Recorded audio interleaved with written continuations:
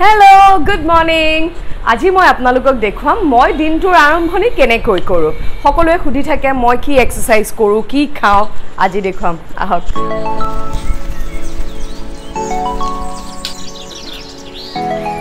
গৰম পানী কৰিছোঁ কিয়নো ৰাতিপুৱা প্ৰথম দুগিলাচ পানী মই কুহুমীয়া গৰম পানী খাওঁ। আৰু এটা কথা আপোনালোকক কওঁ শুনিবলৈ কেনেকুৱা হয় নাজানো। পৰাপক্ষত ব্ৰাছ নকৰাকৈ পানী খাব। ৰাতিপুৱাৰ প্ৰথম দুগিলাচ পানী ব্ৰাছ নকৰাকৈ খাব কিয়নো আমাৰ মুখত গোটেই ৰাতি ৰাতিপুৱালৈ যি চেলাইভা ফৰ্ম হয় সেই চেলাইভাটো হেনো এণ্টি অক্সিডেণ্টৰ কাম কৰে। পেটৰ কাৰণেও খুব ভাল। গতিকে আপোনালোকে মুখ নোধোৱাকৈ প্ৰথম দুগিলাচ পানী খাবলৈ চেষ্টা কৰিব। আৰু এটা চিক্ৰেট মই আপোনালোকক জনাব খুজিছোঁ। মই ৰাতিপুৱা প্ৰথম গিলাচ পানী চাৰ্জ কৰি খাওঁ। অৰ্থাৎ আপোনালোকে দেখিব যিকোনো আধ্যাত্মিক গুৰু হওক বা আগতে আপোনালোকেও আমি সকলোৱে জানো যে আইসকলে দেখা দিলে বা যিকোনো বেমাৰ হ'লে পানী জাৰি দিয়ে বুলি কয় মনত আছেনে? গতিকে পানী এটা খুব ষ্ট্ৰং এলিমেণ্ট কোৱা হয় যে পানীয়ে হেনো মেমৰিজ ধৰি ৰাখিব পাৰে। চাবচোন যিকোনো এটা জয়াল মন্দিৰৰ কাষত এটা ৱাটাৰ বডি থাকে অৰ্থাৎ এটা পুখুৰী হওক বা কুঁৱা হওক। মই এঠাইত শিকিছিলোঁ যে ৰাতিপুৱাৰ প্ৰথম পানীগিলাচ হেনো চাৰ্জ কৰি খাব লাগে। কেনেকৈ চাৰ্জ কৰে? আমি পানীখিনিক ক'ম মই পানীখিনিক কওঁ। মই এক শুদ্ধ আত্মা মই এক শান্তিপ্ৰিয় আত্মা মই এক মৰমীয়াল আত্মা মই এক সাত্বিক আত্মা। মোৰ দিনটো শুভ হওক।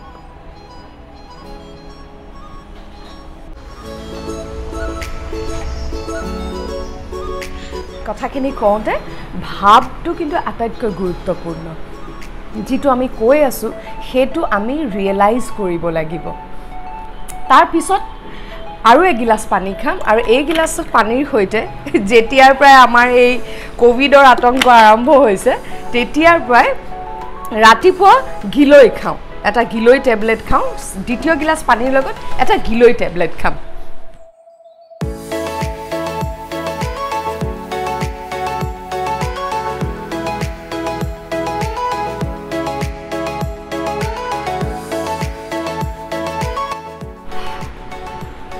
এতিয়া পানী দুগিলাচ আৰু গিলৈ টেবলেটটো ছেটেল হয় মানে মই এক কাপ গ্ৰীণ টি ৰেডি কৰোঁ।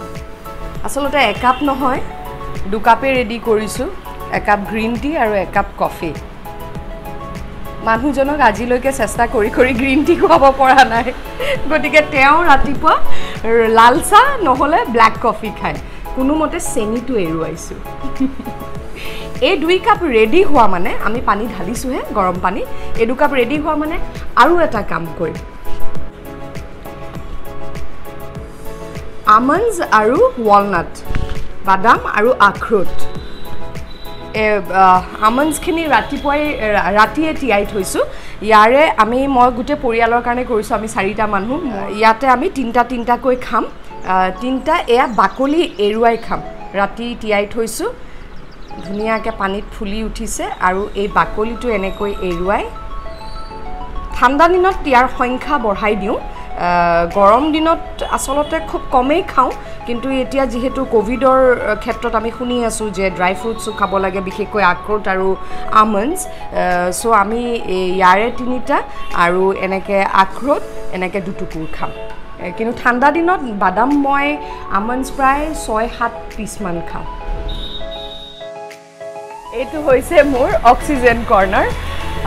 আমি সকলোৱে ফুল ভাল পাওঁ মই খুব ভাল পাওঁ প্লাণ্টছ খুব ভাল পাওঁ। গতিকে মই ভাবিয়ে থৈছিলোঁ যে এই প্ৰথমতে বেলকনিটো একদম ফুলৰ টাবেৰে ভৰাই দিম। ভাল লাগে দেখিয়ে গ্ৰীণ হৈ থাকে। মাজে মাজে মই এওঁলোকৰ লগত কথাও পাতোঁ কিবা অসুবিধা পাইছে নেকি পানী খাবলৈ পাইছেনে নাই। চ' মই প্ৰথম চাহকাপ ৰাতিপুৱাৰ এই ধুনীয়া কৰ্ণাৰটোত খাওঁ পজিটিভ হৈ থাকিবলৈ। এণ্টি অক্সিডেণ্ট ড্ৰিংক হৈ গ'ল। এতিয়া সময় হৈছে শৰীৰ চৰ্চাৰ। এক্সাৰচাইজ কৰিম তাৰ আগতে অকণমান খোজকাঢ়ি আহোঁ বডিটো ৱাৰ্ম আপ হৈ যাব। ওলাই যোৱাৰ আগতে ছানস্ক্ৰীন কম্পালচৰি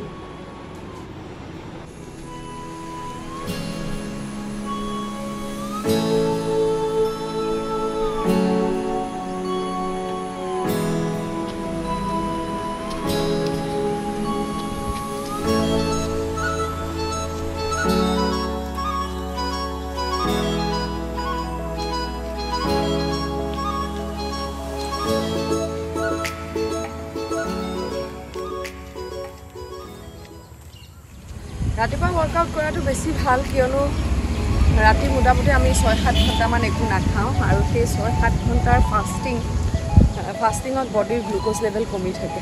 আৰু গ্লুক'জ লেভেল কমি থাকিলে এক্সাৰচাইজ বেছি ইফেক্টিভ হয়। সোনকালে ক্ষীণাব পাৰি। কিন্তু এই টোপনি ক্ষতি হয় বা কামৰ ব্যস্ততাৰ মাজত কেতিয়াবা মিছ হয় ৰাতিপুৱা। তেতিয়া ইভিনিং কৰোঁ। কেৱল এটা কথা মনত ৰাখিব লাগে যে গেপটো খোৱাৰ গেপটো মিনিমাম চাৰি ঘণ্টামান হ'ব লাগে। কমেণ্টছত প্ৰায় সকলোৱে ভাস্কৰ দা ভাস্কৰ ভিন্দৌ ক'ত আছে সুধি থাকে। মই ভাস্কৰ ভিন্দৌক দেখুৱাম। পানী আজুৰি লৈ আহোঁ ৱৰ্কআউট কৰিবলৈ। ভাস্কৰ দা! এইয়া।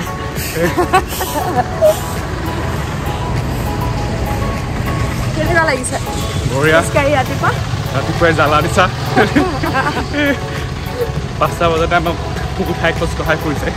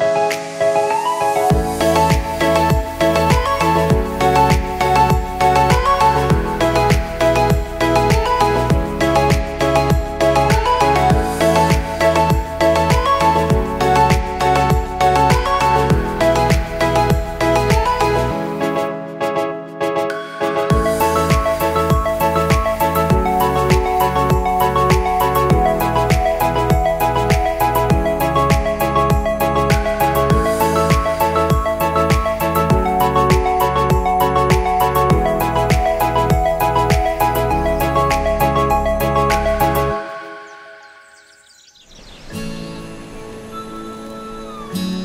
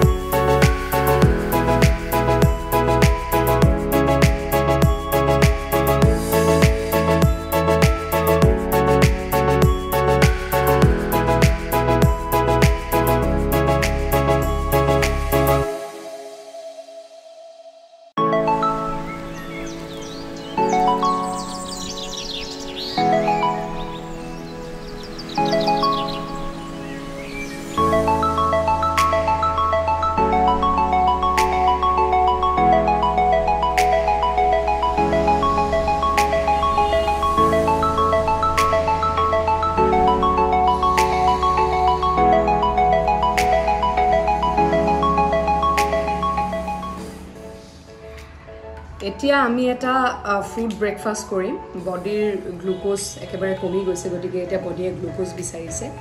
খোজকাঢ়ি আহি অৱশ্যে মই কুহুমীয়া পানীত এক চামুচ মৌ খাইছিলোঁ। আনাৰস আম খেজুৰ আপেল এনেকৈ এচৰ্টেড আৰু লগতে এগিলাচ প্ৰ'টিন শ্বেক মই প্লান প্ৰ'টিন খাওঁ। আৰু এই প্ৰ'টিন শ্বেক গিলাচে বহুত শক্তি দিয়ে। শ্বেম্পু কৰিলে কণ্ডিশ্যনাৰটো সকলোৱে কৰেই।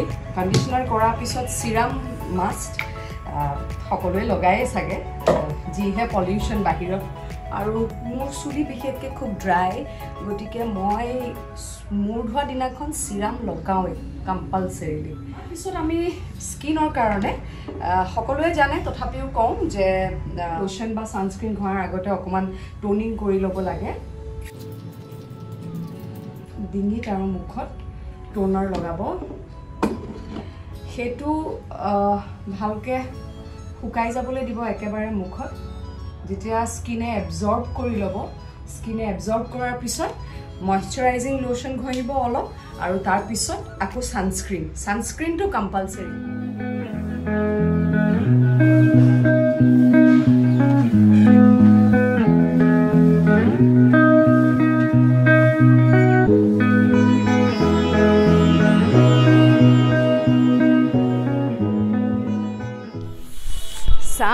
আপোনালোকৰ লগত কথা পাতোতে পাতোতে পাহৰিছিলোঁ যে মোৰ শ্বুটিং আছে। স্বাভিমানৰ পৰা পূৰা ফোন আহি আছে। চ' পটাপট ব্ৰেকফাষ্ট কৰি মই যাওঁ। আৰু ব্ৰেকফাষ্টত আমি এতিয়া খাম ব্ৰাউন ব্ৰেড এয়া এগ পোচ আৰু অলপ কৰ্ণ আৰু লগতে চচেজ চিকেন চচেজ মই ৰাতিপুৱা ব্ৰেকফাষ্টত যদি কিবা ফ্ৰাই কৰোঁ আমি অলিভ অইলত ফ্ৰাই কৰোঁ। মিছা কথা নকওঁ বাকী ভাজি চাজি মিঠাতেলতে বনাওঁ। কিন্তু খোৱা মুনমি। কণীত হেৰি দিয়া নাই নিমখ দিয়া নাই লৈ ল'বা। আৰু কেতিয়াবা অ'টছ খাওঁ কেতিয়াবা চিৰা খাওঁ আৰু মোৰ ফেভৰেট কেতিয়াবা সান্দহগুড়ি খাওঁ। মুঠতে এটা কথা সদায় মন কৰিব লাগে যে কাৰ্বহাইড্ৰেটৰ লগত প্ৰ'টিন খাবই লাগিব protein is a must Bhaskar Barua আহা ব্ৰেকফাষ্ট কৰি লোৱা বহুত কেমেৰা কৰিলা। নিমখ দিয়া নে? আৰু এটা কথা মাল্টিভিটামিন খাবলৈ চেষ্টা কৰিব কাৰণ এক্সাৰচাইজ কৰিছোঁ নহয় এক্সাৰচাইজ কৰিছোঁ আৰু এনেও মাল্টিভিটামিনৰ প্ৰয়োজন হয়। আৰু শেহতীয়াকৈ আৰু এটা কথা কৈ থওঁ। মই যে পানী চাৰ্জ কৰাৰ কথা কৈছিলোঁ হয়তো আপোনালোকে বস্তুটো বিশেষ বুজি পোৱা নাই মোৰ এই ভিডিঅ'টোত। সেইকাৰণে মই তলত ডেছক্ৰিপশ্যনত দুটা ভিডিঅ'ৰ ৰেফাৰেঞ্চ দিছোঁ লিংক দিছোঁ। চাই ল'ব আপোনালোকে ভালকৈ বুজি পাব। বাই ভালে থাকক হেল্ডি থাকক ৰাইট